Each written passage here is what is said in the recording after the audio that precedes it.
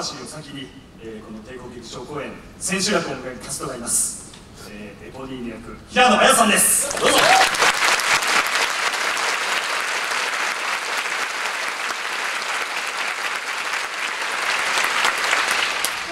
ミュージカルに憧れてこの世界に足を踏み入れて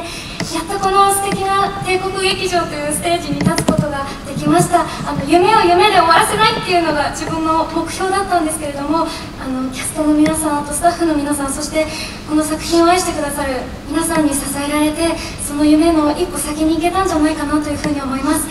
8月からまたあの福岡そして大阪名古屋とまた皆さんと合流させていただきますので、えー、ここに今日いらしてくださった方々とまたそちらでもお会いできるように、えー、期待してます。すいません。えっともうこの作品本当に私も大好きなので、えー、同じように、え、愛してくださる皆さんのこれからにあの幸せが訪れますように祈ってます。今日どうもありがとうございます